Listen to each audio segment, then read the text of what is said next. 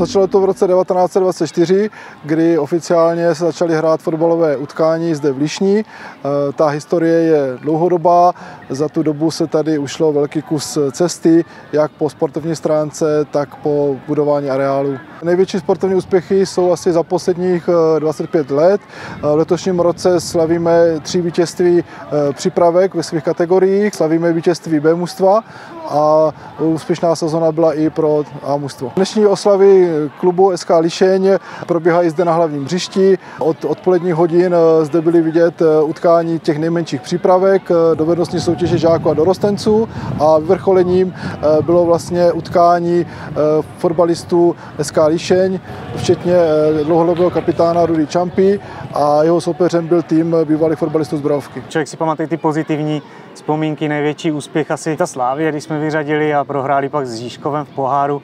Ale samozřejmě beru i ty úspěchy, jako když jsme z první B třídy postupovali až do prakticky třetí ligy a kluci teďka jsou na pokraji druhé ligy, uvidíme, vyjde, nevíde, ale já tady prostě mám krásné vzpomínky a byl to jak kus mýho života vlastně, který nejde smazat, takže já to mám tak trošičku pod kůži tady ten, ten tým líšeňský a budu vzpomínat jenom dobrým. No. Vím, že jsem od těch mládežnických kategorií tak nějak vždycky ten kapitán byl, nevím proč, nevím, nějak se to se mnou táhlo. Rudolf, eh, srdce líšeňského týmu, od jak živa vlastně co hrával. Vždycky on stál prostě za vším, jako co se dělo v kabině, ať to byla dobrá nálada prostě, nebo když se nedařilo, skvělý kamarád, vždycky, když prostě byl nějaký problém, kdokoliv za ním mohl kdykoliv přijít, prostě ze šatny z kluků. Takže dnešní exibiční zápas jsme semka pozvali legendy z Brojovky, Děkuji Petru Švancarovi, který se o to postaral z druhé strany.